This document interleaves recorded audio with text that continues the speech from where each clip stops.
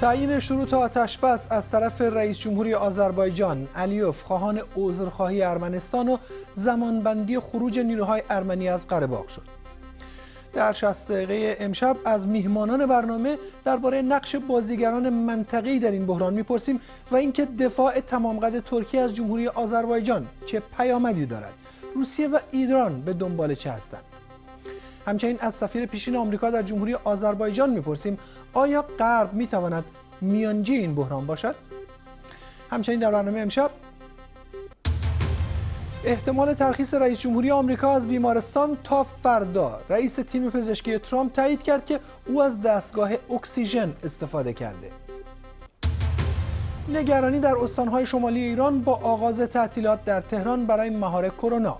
عضو ستاد مبارزه با کرونا می‌گوید اگر سفرها بیشتر شود باید بیمارستان صحرایی برپا کنیم. این بود. و واقعا من هیچ قصد و غرضی نداشتم. فقط واقعا واقعا خوشحالی من واسه یه بچه بود. و توضیحات مهاجم تیم فوتبال پرسپولیس درباره حرکتی که موجب محرومیتش.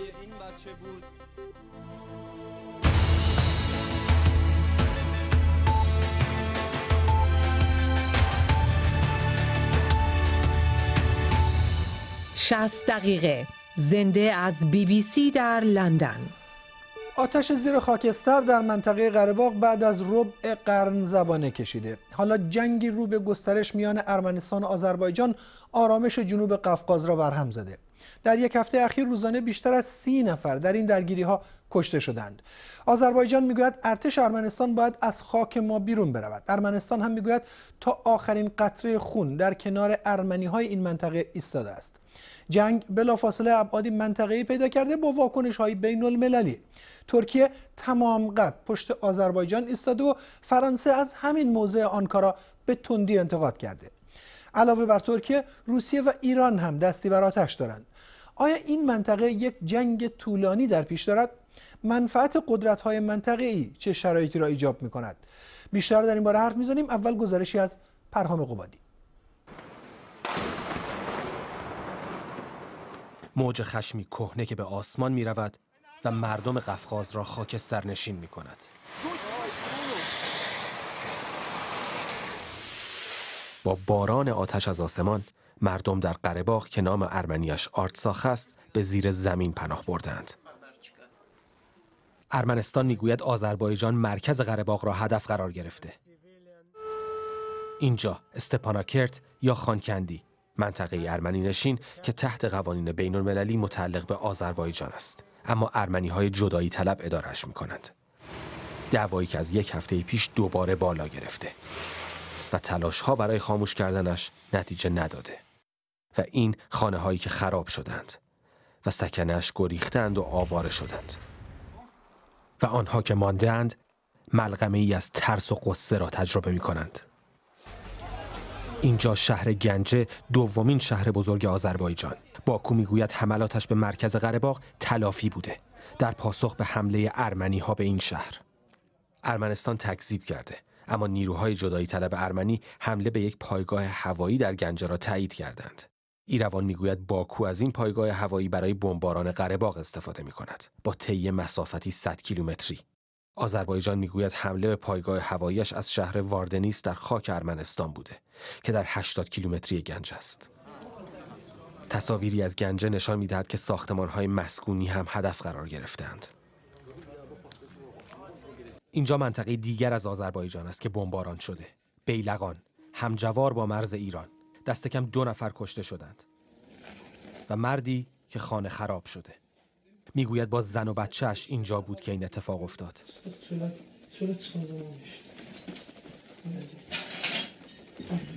گودالی که اصابت بمب ایجاد کرده و از خود موشک همینها به جا مانده.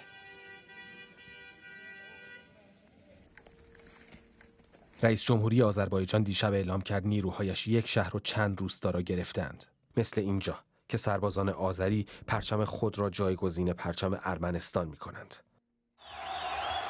خبری خوش برای آذری ها و قررش آسمان در باکو پایتخت آذربایجان. از شادمانی. جشن برای پیشروی نیروهایشان. برخی به خیابانها آمدند. قره را فریاد می‌زنند. قره اما فعلا بوی دود و آتش می‌دهد. پرهام قبادی بی بی سی.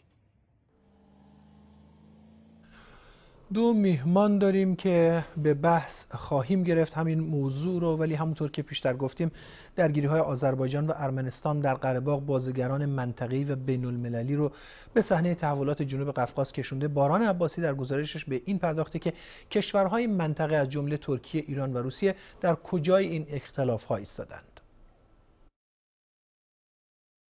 یک هفته درگیری نظامی بین آذربایجان و ارمنستان.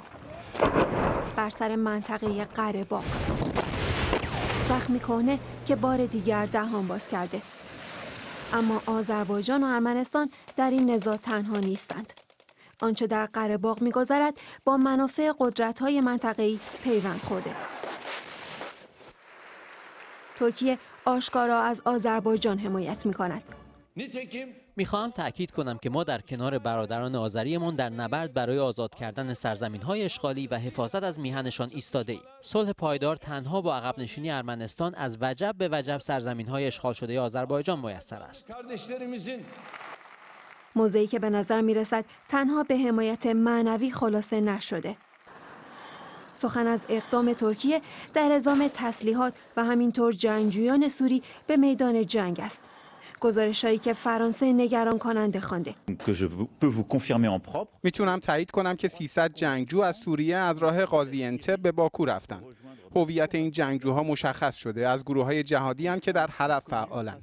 این غیر قابل قبوله. من از شرکایمان در ناتو می‌خوام درباره اینکه عضو این گروه بودن چه معنایی داره خوب فکر کنن. این مسئله است که ما باید دربارش با ترکیه گفتگوی صریحی داشته باشیم. فرانسه در کنار آمریکا و روسیه عضو گروه مینسک است. گروهی که نزدیک به سی سال پیش برای میانجیگری در بحران قره باغ تشکیل شد. درخواست این سه کشور برای توقف فوری درگیری ها و نشستن پشت میز مذاکره واکنش تند ترکیه را در پی داشته. از آنجایی که آمریکا، روسیه و فرانسه سی سال است که این مشکل را نادیده گرفتند، حالا مشارکتشان برای یافتن راه حلی برای این بحران غیر قابل قبول است.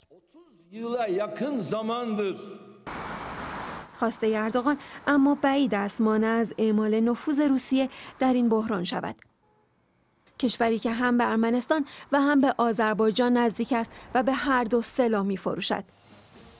اما در ارمنستان یک پایگاه نظامی بزرگ دارد و پیمانی امنیتی که بر اساس آن یروان می تواند خواهان کمک نظامی مسکو شود.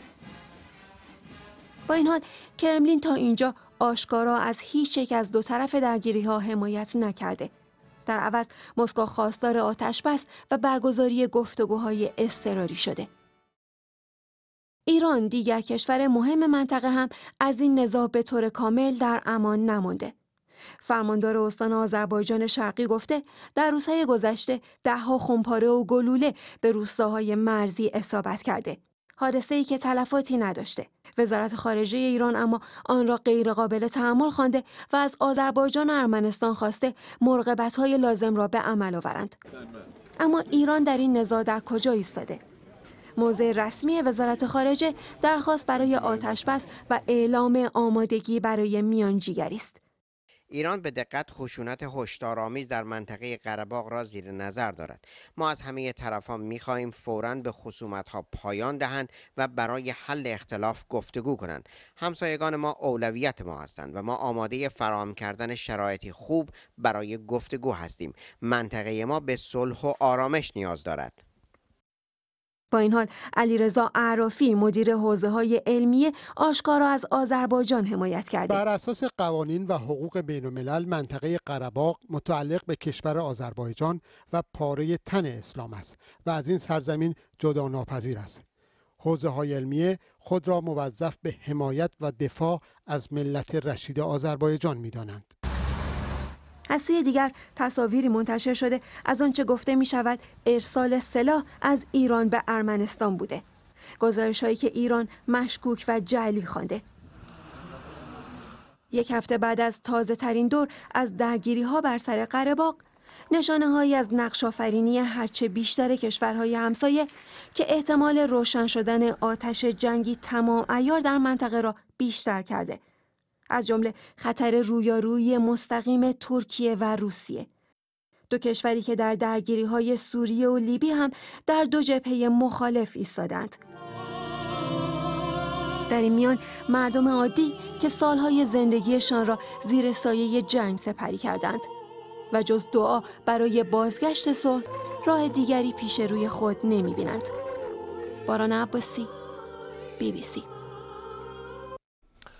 رجب سفروف مدیر مرکز مطالعات ایران معاصر در مسکو از پایتخت روسیه با ما هستند و همینطور اویغور حقی معاون مرکز مطالعات ایران در آنکارا از پایتخت ترکیه. سال اول از آقای سفروف می‌پرسم تقریبا یک هفته از بحران شروع شده ولی روسیه چندان وارد ماجرا نشده دست کم به شکلی علنی. از نظر شما چه دلیلی داره؟ ماجرای قرواق کوهی واقعا یک امتحانی خیلی جدی برای دیپلماسی روسیه حساب بشه الان روسیه تا اندازه آماده نیست برای موضوعگیری خیلی جدید و مهم و سریع چون که باید به هر حال به هم آذربایجان و به هم ارمنستان همچون به برادران خودش نگاه می‌کنه. و واقعا از حضور فعال ترکیه که واقعا میشه گفت برای روسیه غیر انتظاری بود الان تا, تا, اندازه مشوش شده و داره بررسی می‌کنه که این برخورد رو با ترکیه چجوری باید درست بکنه. حضوری ترکیه که واقعا جناب آقای اردوان هم امریکا هم فرانسه و هم روسیه رو که رؤسای گروه مینسک هستند در رابطه با قضیه قرباق کوهی. اینها را از صحنه سیاست خارج کرده اصلا بیرون کرده. گفته که شما سی سال کار را نتونستید انجام بدید. من اومدم به صحنه که بالاخره این قضیه قرباق کوهی را بله. حل و فصل بکنم.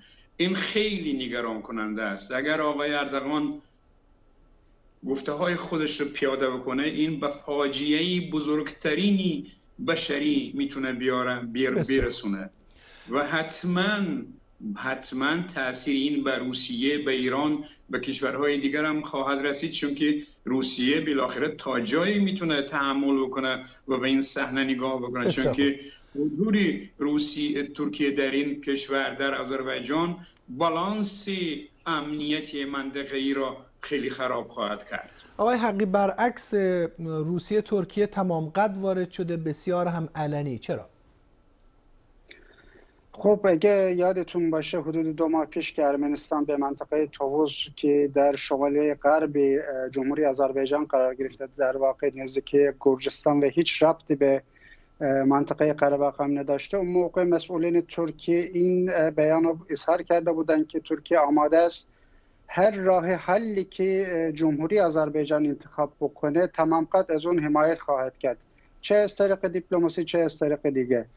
امروز هم جمهوری آذربایجان حدود یه هفته است که تصمیم خودش رو گرفته و حمله همین جانبه را در قره تحت اشغال شروع کرده. ترکیه هم طبیعی هست که این روابط ویژه‌ای که داره با آذربایجان از اون حمایت کنه و از اون طرف با ارمنستان چون روابط سیاسی نداره در مقابل ارمنستان قرار بگیره. فکر کنم این جایی تعجب نیست. چرا که ترکیه و آذربایجان از زمانی که جمهوری آذربایجان استقلال خودش رو اعلام کرده بود یه رابطه بسیار ویژه‌ای دارن و این البته تصمیم من مخالف اون آقای هستم که از مسکو گفته. این تصمیم آقای اردوغان نبوده. این تصمیم جمهوری خود آذربایجان بوده که وارد جنگ شده. البته ترکیه هم از لحاظ معنوی هم از لحاظ دیپلماسی حتی ممکنه از طرق نظامی هم از جمهوری آذربایجان حمایت خواهد کرده و خواهد کرد به نظرم. آقای سفروف؟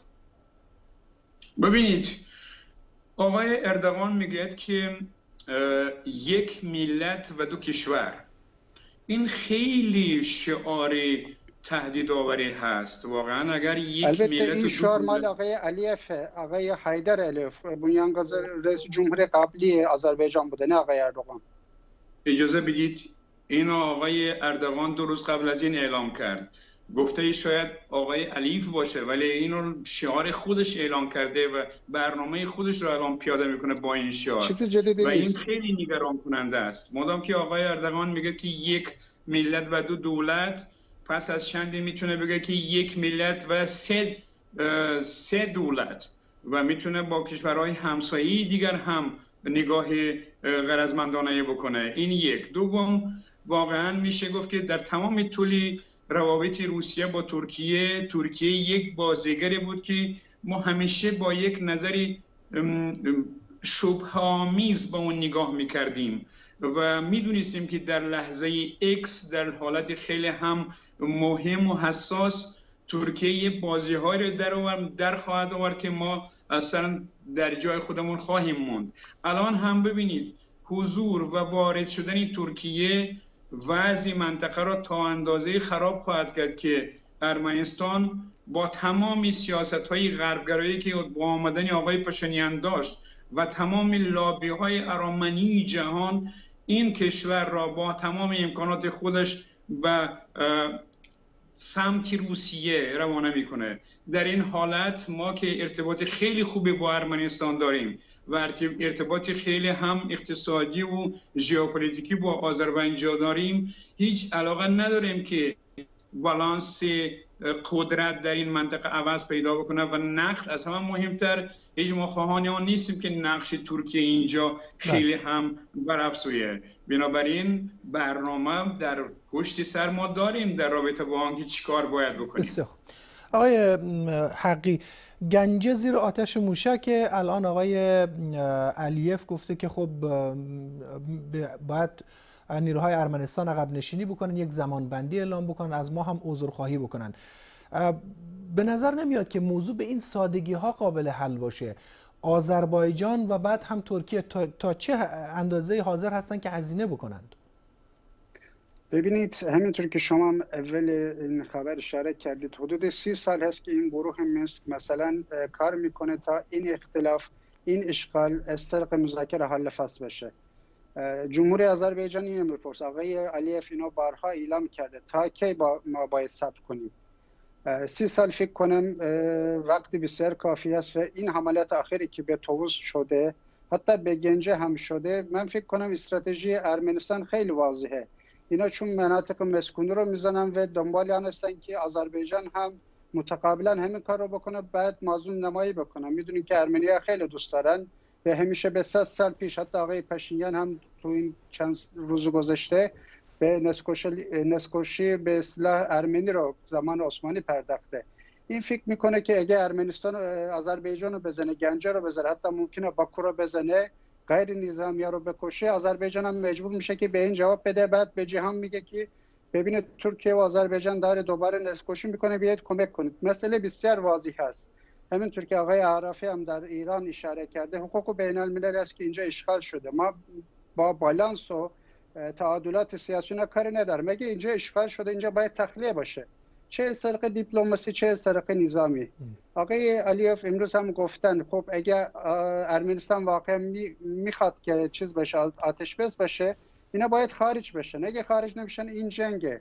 و همه ناظران صحنه می‌دونن که در مقابل آذربایجان ارتش ارمنستان این قدرت رو داره ارمنستان تو این سالی گذشته همیشه فکر کرده که روسیه از اون پشتیبانی خواهد کرد و به این گرم بود و اصلا راضی نمی‌شد که کوتاه بیاد به هیچ وجه حتی اون هفت شهرستانی که بجز قربا اشغال کرده بود حاضر نشد از یکش هم عقب نشینی کنه الان که واز خراب شده ایشون سعی می‌کنه بازم با روسیه کار بکنه با فرانسه کار بکنه ولی من باید می‌دونم هیچ کشور سالیسی در این درگیری داخل باشن حتی اون حرفایی که آقای ماکرون زده فکر کنم به خاطر این بود که آرام کنه لابی ارمن رو در فرانسه. بسیار خوب.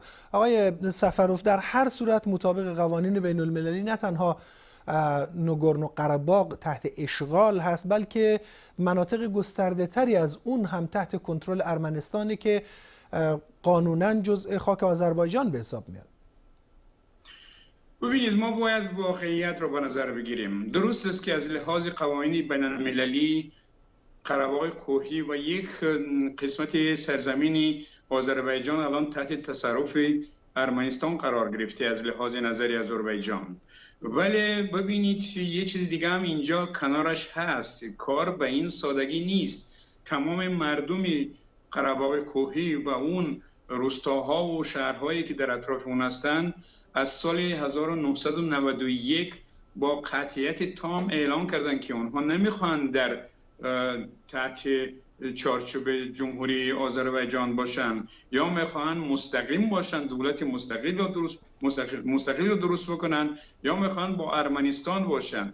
از بس که اونها جمعیت ارمنی هستند دولت ارمنستان نمی‌تونه اینها را کنار بگذاره. انچه که مرزی اونها هست. بنابراین این واقعیت است که با یک دلیلی اون که یه زمان یا یه دوری در خاک کشور بوده این می‌تونه یک اساس باشه ولی کامل نمیشه صحنه را در نظر گرفت. یکی از بیانات خیلی مهمی که یکم اکتبر بعد سه چهار روزی این جنگ تازه رهبران گروه مینسک امریکا فرانسه و روسیه اعلام کردن این. فکر می‌کنم که سرنوشت این قضیه را عوض کرد و ترکیه و انقره و باکو را اشتهایی نامحدودی ژئوپلیتیکی این دو کشور را محدود ساخت و بنابراین من فکر می‌کنم که اوجی بلندترین امکانات آذربایجان در رابطه با برگشتن به قربال کوهی از دست داده شد. دیگر هر کاری که انجام بشه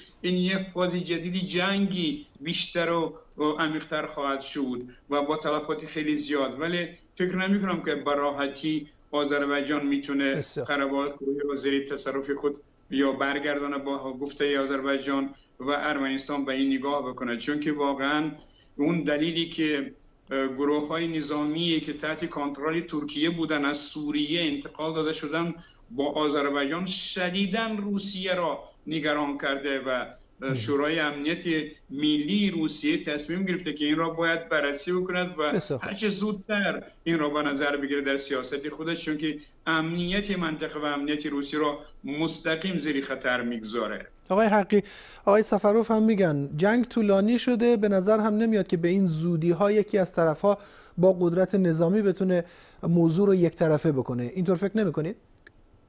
اگه فرصت ملاقات دوباره اگه داشته باشیم در یه ماه آینده شما خواهید دید که تا یه ماه آینده همه سرزمین های اشغالی آزاد خواهد شد.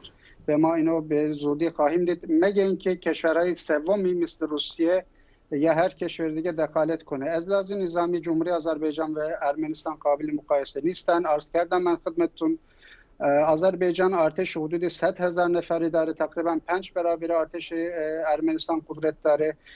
شما اون تصاویر ویدیو رو دیدید که ارتش آذربایجان استفاده کرده با اون اسلحه های بسیار پیشرفته و سوفیستیکه. لذا نیازی نیست که شما در کنار 100 هزار نفر ارتش آموزش دیده و با تجربه 300 نفر رو بیارید که اصلا اینا نه نظامی نه چیزن ولی آقای حقی کارشناسان میگن که ارتفاعات دست ارتش ارمنستان مردم منطقه هم ارمنی هستند بنابراین از نظر ژئوپلیتیک ممکنه که امتیازهای غیر قابل انکاری در اختیار ارتش ارمنستان باشه. ببینید این که بالاخره بحث و جدل نمی‌خواد. من عرض کردم اگه این درگیری ها تا یه ماهی دیگه ادامه داشته باشه امروز همینطور که شنیدیم جبرائیل آزاد شد فیزولی هم در آستانه آزاد شدن هست مهمتر مناطق در حال آزاد شدن است. به خاطر این هست که ارمنستان داره مستقیم از داخل خود ارمنستان نه از قرباق از داخل خود ارمنستان گنجه رو می‌زنه. با موشک های بالستیک این یک در واقع جرم جنگی هست. مردم غیر نظام رو می‌کشه این نشون میده که وازشون واقعا خرابه و در جبهه ها نمی‌تونن اینا مقاومت کنن. آقای سفروف ما اینو این نکته آقای حقی رو پاسخ بدین. میگن که یک ماه دامنه جنگ تموم میشه.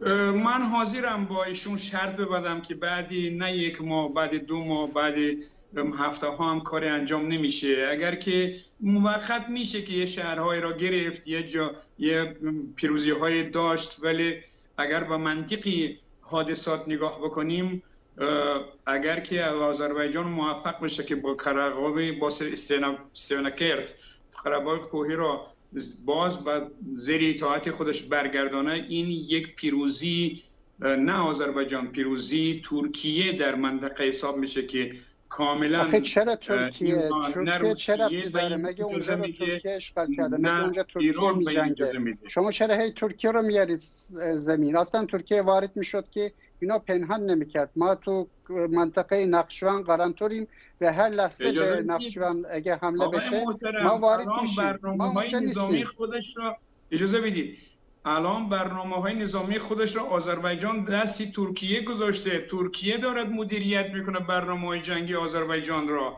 و روسیه این ادعا هست. مگه شما جهانی چیز دارید؟ حتی ایران دلیل آقای حقیقی خیلی از خیلی از ناظران بین المللی هم میگن که نیروهای هوادار ترکیه از سوریه منتقل شدن به نگورنو قره ببینید درس کردم. خب اگه فرض کنیم اگه این درست باشه 300 نفر می‌تونه چه چیز رو عوض کنم با این جنگی که کوهستانی از اسلحه بسیار پیشرفته در حالی به کار بردن از اسلحه های اسرائیلی ترکیه روسی بقیه این 300 نفر که از کردم جنگجویان سوریه شما هم می‌دونید اینا اصلا جنگجوی حرفه‌ای نیستن. اینا قبلا که سبب بودن اومدن وارد ارتش آزاد سوریه شدن و جنگجو شدن. این 300 نفر قرار چه کار بکنن. این یه پروپاگاندی هست که ارمنستان داره استفاده می‌کنه. هر وقتمون تمام هر دو آقایون 30 ثانیه وقت دارن تا جنبندی بکنن اول آقای سفروف بفرمایید. ببینید جمعیت قرباق کوهی به هیچ وجه نمی‌خواد که باز تحت کنترل یا مدیریت آذربایجان برگرده و تا قطره آخری خودش برای جنگ ملی و وطنی خودش جنگ خواهند کرد. ارمنستان هم مجبوره که در کنار این باشه. اضافه می‌کنیم تمام لابی های ارامنی جامعه جهانی را. بله. در خود روسیه لابی های ارامنی و لابی های آذربایجانی تقریبا در یک سطح قرار گرفتن که می‌تونن راهبران روسیه را در این موضوع تاثیرگذار باشن. شما هم سی ثانیه وقت دارید بفرمایید. بله من عرض کردم جمهوری آذربایجان بسیار مصمم است فکر می‌کنه که سی سال کافی بوده برای اینکه به شانسی بده به مذاکره و دیپلماسی این کار نکرده و اینا اقدام کردن و من مطمئن هستم که تا یه ماه دیگه این قضیه حل فاز میشه مگه اینکه عرض کردم روسیه یک کشور سالس وارد بشه و این معادلات عوض کنه متشکرم. و این کارهای آخری که آقای پاشینیان نشون داده همین رو ثابت می‌کنه که به شهرهای و مناطق مسکونی آذربایجان هم نمی‌کنه حتی به ستهای آبرستانی و آذربایجان مورد حمله قرار ممنونم. از حقی اویغور معاون مرکز مطالعات ایران در آنکارا و همینطور رجب سفروف مدیر مرکز مطالعات ایران معاصر در مسکو. ماتیو برایز را سفیر سابق آمریکا در جمهوری آذربایجان هم استانبول ترکیه با ما هستند آقای برایزا معاون پیشین دستیار وزارت خارجه آمریکا در امور اروپا و اوراسیا هم بودند و همینطور رئیس مشترک پیشین گروه مینسک سازمان امنیت و همکاری اروپا. آقای برایزا اول می‌خواستم از شما بپرسم که نگاه آمریکا خصوصا دولت ترامپ نسبت به این قضایا چیه؟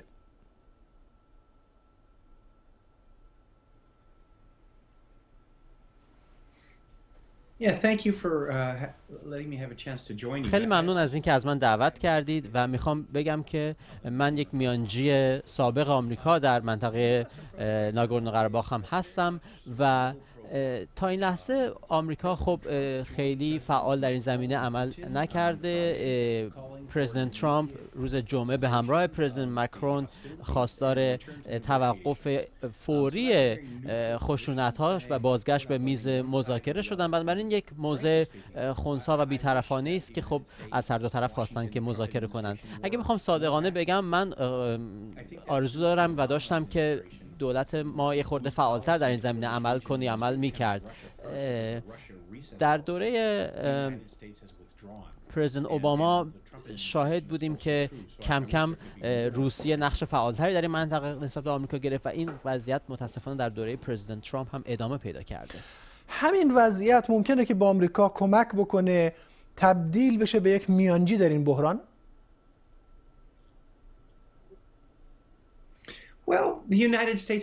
خب ایالات متحده همین حالا هم یک میانجی هست تحت در چارچوب گروه مینسک در کنار فرانسه و روسیه اینها سه میانجی هستند اما اتفاقی که افتاده این که از ماه ژوئیه زمانی که درگیرها بین آذربایجان و ارمنستان در مرز اونها. نه جایی که الان عملیات نظامی در جریانه. اون موقع وقتی این درگیری ها اتفاق افتاد ایالات متحده واقعا حضوری در این معادلات نداشت و یک خلای دیپلماتیک ایجاد شد و من فکر می‌کنم که روسیه و ترکیه به صورت دو فاکتو در عمل این خلا رو پر کردن و الان اونها دو نقش کلیدی رو دارن بازی می‌کنن در این تلاششون برای اینکه دوستان ویژه خودشون آذربایجان برای ترکیه و ارمنستان برای روسیه رو دوباره به میز مذاکره برگردونن وقتی که این درگیری های فعلی فروکش کنه. هم ارمنستان و هم آذربایجان سعی داشته که روابط خودش رو به شکلی با آمریکا گسترش بده. می‌دونیم که دو سه تا نهاد لابی کننده در آمریکا هستند که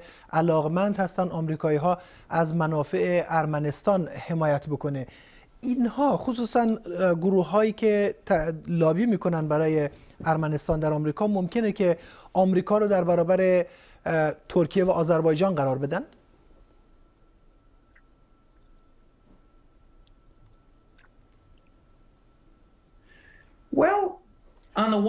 خب از یک طرف یکی از این دو لابی های ارمنی آمریکایی موفق بود که مثلا حتی مانع از این بشه که من به عنوان سفیر آمریکا برای آذربایجان معرفی بشم و این نشون میده که چقدر قدرت دارن. اما از طرف دیگر در نهایت دولت اوباما موفق شد که من رو به آذربایجان و باکو بفرسته.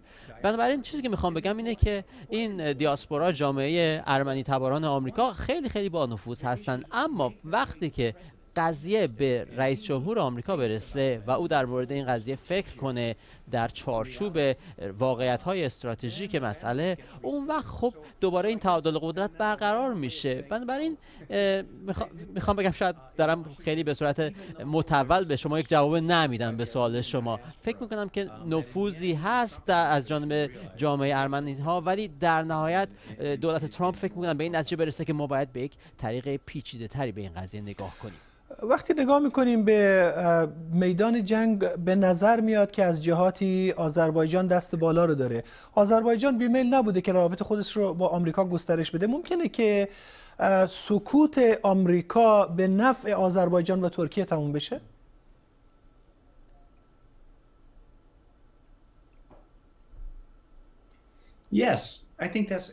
بله فکر می‌کنم که این یک تفسیر خیلی هوشمندانه باشه از وضعیت کنونی. فشار خیلی زیادی روی دولت ترامپ هست که بیاد و طرف ارمنستان رو بگیره. و عوض این اومدن خیلی محتاط بودن و در پاسخ به گزارش هایی که جمعه شنیدیم که مزدورانی از سوریه ترکین ها رو برده به جمهوری آذربایجان. آقای پومپو وزیر خارجه آمریکا گفت بله من این گزارش ها رو شنیدم ولی نمی‌تونم تایید کنم که گزارش های درستی هستند همچنین پرزیدنت ترامپ و پرزیدنت پوتین و مکرون روز جمعه بیانیه صادر کردن و گفتن که ما از هر دو طرف می‌خوایم که درگیری ها رو متوقف کنن و بدون هیچ پیش شرطی به میز مذاکره برگردن. و تا روز جمعه فقط ارمنی ها بودن که پیش شرطی گذاشته بودن برای بازگشت به میز مذاکره.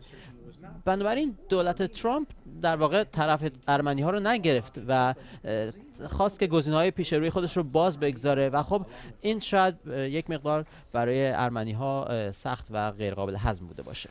ممنونم از متیو برایزا که معاون پیشین دستیار وزارت خارجه آمریکا در امور اروپا و آسیا هستند و همینطور رئیس مشترک پیشین گروه مینسک سازمان امنیت و همکاری اروپا که نقش میانجی در این بحران رو داشتند. و اما پزشکان دونالد ترامپ رئیس جمهوری آمریکا می‌گویند که حال او همچنان رو بهبود است و اگر این روند ادامه پیدا بکند ممکن است او فردا از بیمارستان مرخص شود.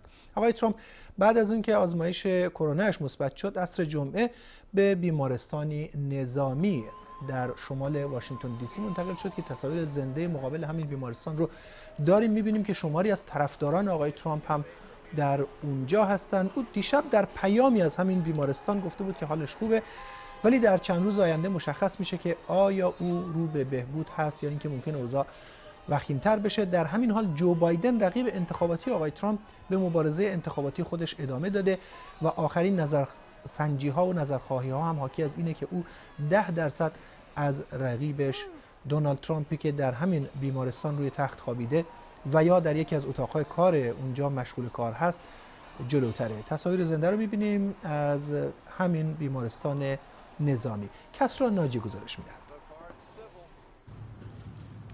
تیم پزشکی رئیس جمهوری آمریکا امروز و تازه ترین گزارش حال دونالد ترامپ که در بیمارستان به علت ابتلا به کووید 19 تحت مداواست.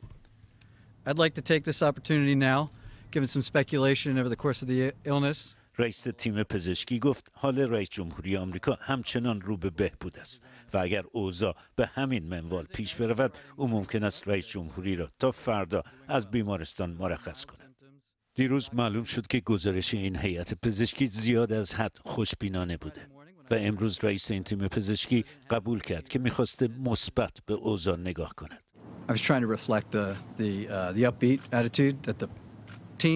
می‌خواستم جنبه های مثبت چیزی رو که کادر پزشکی از رئیس جمهوری و این بیماری مشاهده کردن انعکاس بدم. نمی‌خواستم اطلاعاتی بدم که شنونده رو گمراه کنه. ولی این باعث شد این تصور پیش بیاد که ما داریم چیزی رو پنهان می‌کنیم. Um, این عضو دیگر کادر پزشکی هم گزارشی مثبت ارائه کرد. او گفت رئیس جمهوری از جمعه به این طرف تب ندارد. علائم حیاتی او پایدار است و دچار تنگی نفس هم نشده است. در داخل بیمارستان این دونالد ترامپ دیشب ظاهرا خسته اما امیدوار و خوشبین. می‌گوید حالش دارد خوب می شود اگرچه معلوم نیست و چند روز آینده تست واقعی خواهد بود و نشان خواهد داد که حالش رو به بهبود است یا نه. او از حامیانش همه جا که برای سلامت او دعا کردن تشکر کرد. حالا معلوم شده است که روز جمعه غروب قبل از انتقالش به بیمارستان رئیس جمهوری آمریکا دچار تنگی نفس شده بود و به او اکسیژن داده بودند. به گفته پزشکان او امروز او دیروز هم به تنگی نفس دچار شده بود. در میان گزارش ها از حال رئیس جمهوری گزارش های دیگری هم هست که نشان می‌دهد به غیر از رئیس جمهوری آمریکا و همسرش که گفته می شود حال او هم خوب است دست کم هشت نفر از نزدیکان مشاوران و کارکنان کاخ سفید هم به بیماری کووید 19 مبتلا شدند. از جمله هوب هیکس دستیار رئیس جمهوری، کلیان کونوی مشاور پیشین، کریس کریستی مشاور کمپین انتخاباتی، رونا مکدانیل رئیس کمیته ملی جمهوری خواهان، مایک لی سناتور جمهوری خواه، تام تیلیس سناتور جمهوری خواه، نیکلس لونا دستیار شخصی رئیس جمهور و بیل ستپین مدیر کارزار انتخاباتی رئیس جمهور. بسیاری از این نزدیکان آقای ترامپ که حالا به کووید مبتلا شدن هفته پیش در این مهمانی در کاخ سفید شرکت کردند که برای معرفی عضو جدید دادگاه عالی ترتیب داده شده بود. مهمانی که در آن خیلی از مهمانان نه ماسک به صورت داشتند و نه فاصله اجتماعی را چندان رعایت کردند. در همین حال رقیب انتخاباتی آقای ترامپ جو بایدن به مبارزات انتخاباتیش ادامه داده است. چیزی که آقای ترامپ را نگران کرده و بی صبر برای برگشت به مبارزات انتخاباتی. اینجا آقای بایدن در یک کنفرانس ویدیویی با کارکنان اتحادیه های حمل و نقل. یکی از تازه ترین نظرسنجی های عمومی نشان می‌دهد که او ده درصد از رقیبش جلوست. بزرگترین فاصله او از آقای ترامپ در هفته های گذشته اما طرفداران دونالد ترامپ در قیاب او به نظر می رسد که خودشان تصمیم گرفتند کمپین انتخاباتی را ادامه بدهند. بدون او. این در نیویورک خود رئیس جمهوری در پیام ویدیویش دیشب گفت که می‌خواهد هر چه زودتر به سر کار برگردد و به قول او آمریکا را یک بار دیگر آمریکایی قدرتمند کند. طرفداران دونالد ترامپ او را مثل قهرمان فیلم های راکی می‌دانند. کسی که دارد علیه بدی ها مشت می‌زند. کسرانجی بی بی سی. دکتر سام چیتساز فوق تخصص قلب و عروق از ارواین کالیفرنیا با ما هستن. دکتر چیتساز این روش های درمانی که پزشکان آقای ترامپ میگن معنا و مفهومش چیه؟ چه خانشی میشه از اونها کرد در مورد وضعیت سلامتی آقای ترامپ؟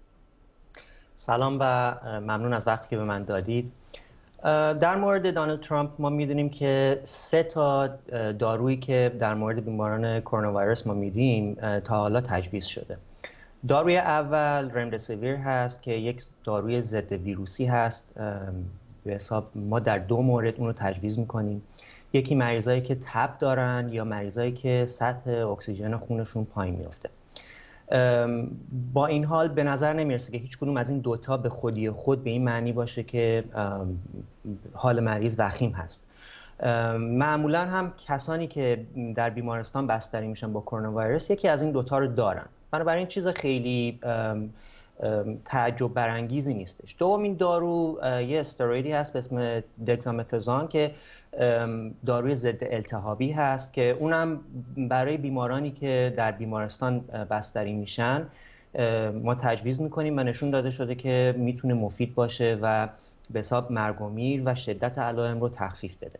اما سومین دارویی که یه مقداری تعجب برانگیز بود پاتنی بود به اسم رجنران که این دارو هنوز از طرف داروی غذا و داروی آمریکا تایید شده نیست برای استفاده عمومی. یک داروی تحقیقاتی هست. به نظر می‌رسه روز جمعه وقتی که برای اولین بار سطح اکسیژن خون دانالد ترامپ پایین میاد اونطوری که میگن زیر 94 درصد پزشکشون امروز گفتن یه مقداری از به حساب از واهمه این که ممکنه خیلی سریع حال دانالد ترامپ بد بشه این داروی تحقیقاتی رو دادن بدون اینکه ما هنوز شواهد لازم رو داشته باشیم از مطالعاتی که داره انجام میشه که این دارو به حال مفید هستش. در مجموع اگر این داروی سوم رو ما حالا در نظر نگیریم به نظر نمی‌رسه که سطح و شدت بیماری دانالد ترامپ تا به حال وخیم بوده باشه. یه مقداری تب و افت سطح اکسیژن داشته که دو بار ظاهرا این اتفاق افتاده ولی هر دو بار موقت بوده و بالا اومده. نهایتا از به لحاظ علائمی که ما تا به حال می‌دونیم اطلاعاتی که تا به حال اعلام شده ما فکر می‌کنیم که شرایط تحت کنترل هست. اون چیزی که هنوز بهش پاسخ داده نشده اینه که اون سی تی اسکنی که از دانالد ترامپ انجام دادن واقعا چه چیزی توش دیدن؟ سوالی که امروز که از خبرنگاران از پزشکشون پرسیدن ظاهرا شواهد غیر نرمال توی این سی تی اسکن بوده. ما می‌دونیم سی تی اسکن رو برای تشخیص ما توصیه نمی کنیم ولی مقدار درگیری ریه رو اگر ما بتونیم توی سی تی اسکن ببینیم خب یه مقداری می‌تونیم تخمین بزنیم که شدت بیماری چقدر هست متاسفانه این اطلاعات هنوز داده نشده. ما می‌دونیم که شواهد غیر نرمالی بوده ولی پزشکشون گفتن که خب خیلی شدید نبوده ظاهرا. میگن رنگ رخساره گواهی دهد از سر درون. وقتی ویدیوهای آقای ترامپ رو نگاه می‌کنیم چی آیا فکر می‌کنید که وضعیتش خوبه یا اینکه باعث نگرانیه؟ بله همونطوری که کاملا درست میفرمایید. روزی که دانالد ترامپ داشت در از کاخ سفید قدم می‌زد به سمت هلیکوپتر کاملا مشخص بود که اون حالت خستگی حالت انرژی کم یه مقداری آرومتر از همیشه راه میره. خب طبیعی هست. هر بیماری حادی این این شرایط خستگی کوفتگی یه مقداری احساس انرژی کم اینها رو ایجاد می‌کنه. از روی این خیلی نمیشه گفتش که حال دونالد ترامپ وخیم بوده. شما یه سرماخوردگی عادی هم داشته باشین تا یه چند روزی این حالت خستگی و رنگ پریدگی و به حساب انرژی کم رو داریم مهمتر از اون اون فاکتورهایی هستش که ما اندازه گیری می‌کنیم مثل سطح اکسیژن خون. خب اون اکسیژن اگر از یه مقداری پایین تر بیاد واقعا ما یه مقداری بیشتر نگران میشیم میگیم خب شرایط بیماری وخیمتر هست. یا همونطور که گفتم اون چیزایی که ما روی تصویر برداری می‌بینیم مثلا سی تی اسکن چقدر ریه ها درگیر هستش؟ نکته سومی که هست این که کرونا ویروس متاسفانه یک سیر بیماری طوری هستش که شما ممکنه یه روز دو روز احساس بکنین که بهتر شدین باز روز سوم یوهایی تب شدید داشته باشین یا علائمتون یوهایی دوباره عود بکنه به خاطر همین هستش که وقتی شما به کنفرانس های مطبوعاتی بیماران پزشکان دانالد ترامپ در بله. توجه می‌کنین همیشه با این حالت یه کمی ترس و احتیاط دارن به قضیه نگاه می‌کنن ممنونم از دکتر سام چیتساز فوق تخصص قلب و عروق از ایالت کالیفرنیا با ما. تهران یک شنبه اولین روز از تعطیل یک هفته‌ای برای مقابله با شیوع کرونا را گذرون. تعطیلی که بعضی معتقدند کوتاهتر از این است که بتواند کارساز باشد. در همین حال وضعیت و تعداد تخت‌های خالی بیمارستانی به ویژه در بخش مراقبت‌های ویژه در بسیاری از بیمارستان‌ها هشدارآمیز شده. شبنم شعبانی در این باره گزارش می‌دهد. همکنون تعداد موارد بستری در بخش مراقبت های ویژه 4154 نفر هستند. این تازه ترین نشست خبری وزارت بهداشت ایران و تایید رسمی اضافه شدن دهها کشته به جانباختگان کووید 19 متاسفانه طی 24 ساعت گذشته 211 نفر از هموطنان عزیزمون رو در اثر ابتلا به بیماری کووید 19 از دست دادیم در بیشتر استانهای ایران وضعیت به گفته ستاد ملی مبارزه با کرونا قرمز است و در تهران فوق حاد و فوق قرمز. در پایتخت تدابیر ویژه برای مهار کرونا در جریان است. امروز اولین روز از تعطیلی عمومی در استان است.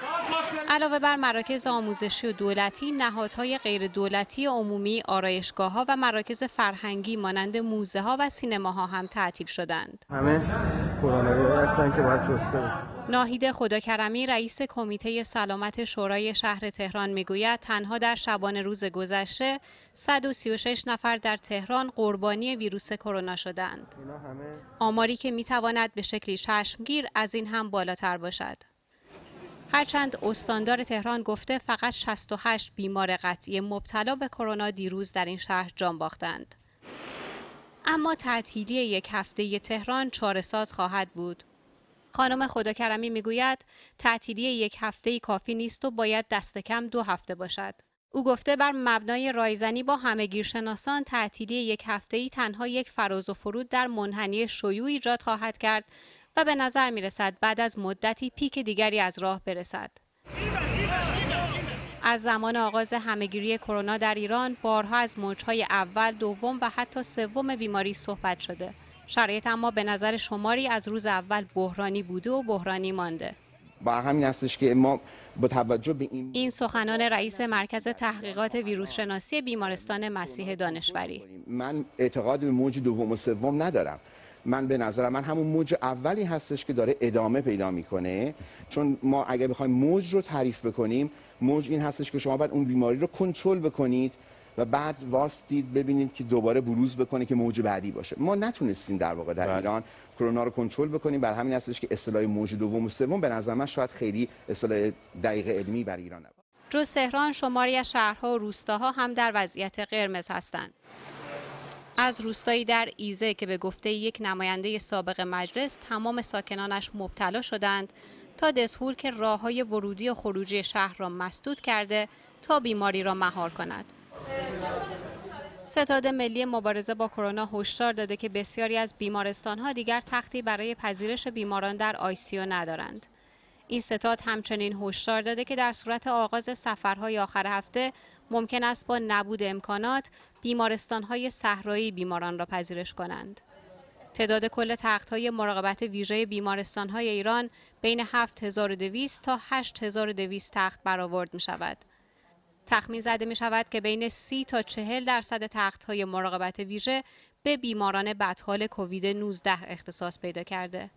بحرانی که بیمارانی را هم که به غیر از کووید نیازمند تخت آیسیو باشند در خطر قرار داده.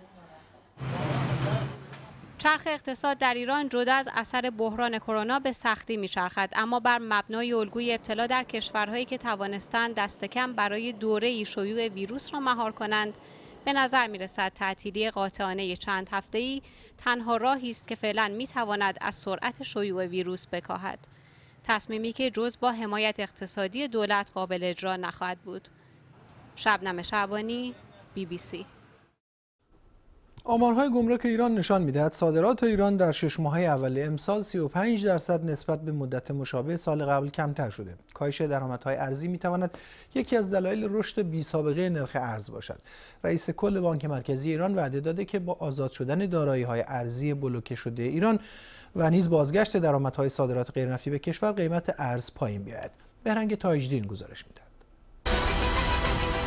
بندر چابهار در جنوب شرقی ایران به گفته سازمان بنادر و دریانوردی میزان تخلیه و بارگیری کالا در این بندر نیمه اول امسال تقریبا دو برابر بهار و تابستان پارسال بوده ولی چابهار از این جهت استثناست آمار گمرک ایران نشان می‌دهد در شش ماهه اول امسال صادرات ایران با بیش از 7 میلیارد دلار کاهش نسبت به مدت مشابه سال قبل به حدود 13.5 میلیارد دلار رسیده. اگرچه میزان واردات هم 4 میلیارد دلار کم شده ولی کسری تراز تجاری دوازده برابر شده و به منفی 3.2 میلیارد دلار رسیده.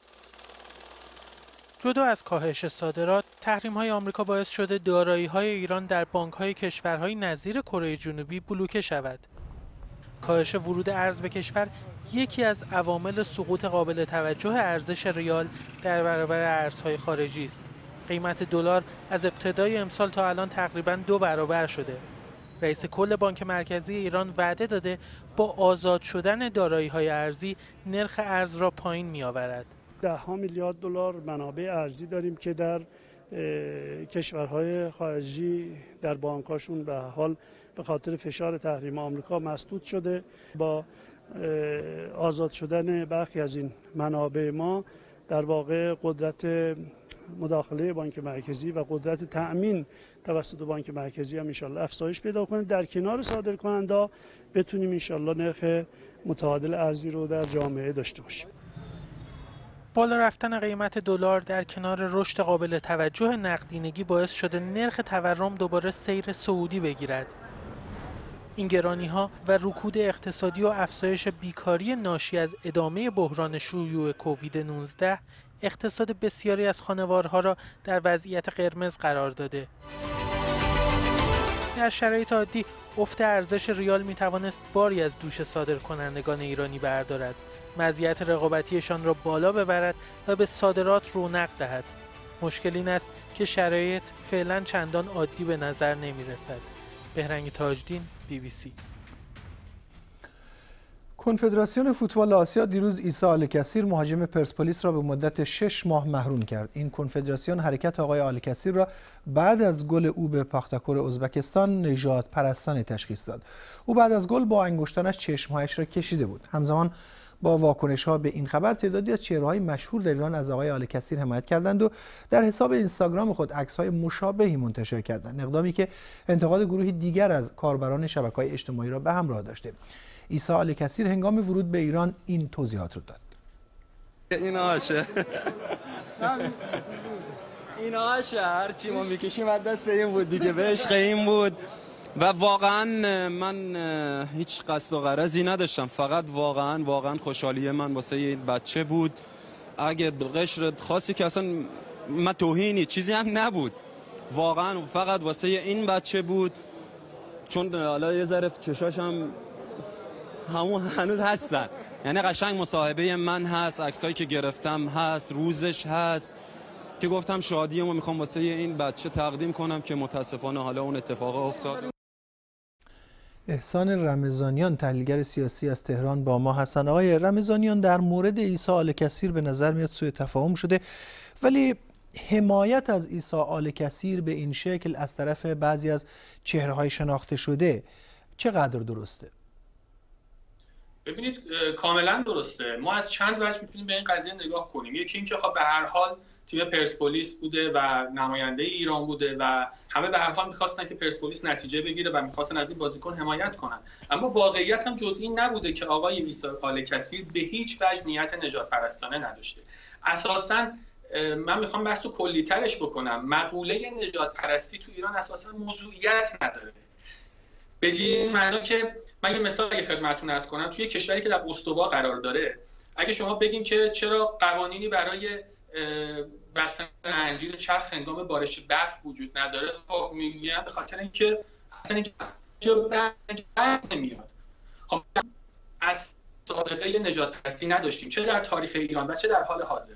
آقای عیسی کسی هم که خودش بعدا توضیح داد عکساش منتشر شد در گذشته. مختلفی که بازی می‌کرده این حرکت رو انجام می‌داده و به عشق برادرزادهش و اصلا نیت نجات پرستی نداشته. ایشون به عنوان بخشی از مردم ایران به عنوان یک نماینده مردم ایران یک واکنشی رو نشون داد که یک خوشحالی مرد... یک خوشحالی کاملا معمولی رو نشون داد. یعنی اساسا این این حرفی زدن ایشون نمیگه حتی همونطور که هواداران پرسپولیس هم نتونستن هضم کنن. چون این مقوله اساسا در ایران موضوعیت نداره.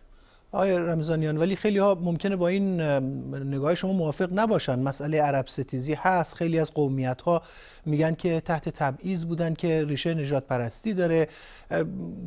موضوعاتی از این دست کم مطرح نشده. اینکه بالکل وجود چنین پدیده رو انکار کنید چقدر واقعیت رو عوض می‌کنه؟ ببینید ما تبعیض نداریم.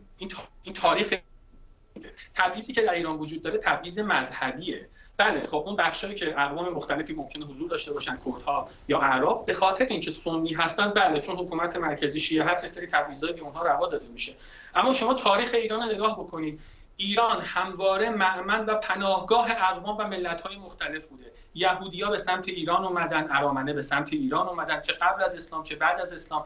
زمانی که لهستانی ها در جنگ جهانی دوم مورد آزار و ستم قرار می گرفتن 160 هزار نفرشون وارد ایران شدن و مورد استقبال مردم ایران قرار گرفتن. چه زمانی؟ زمانی که ایران خودش در قحطی بود تحت اشغال بود.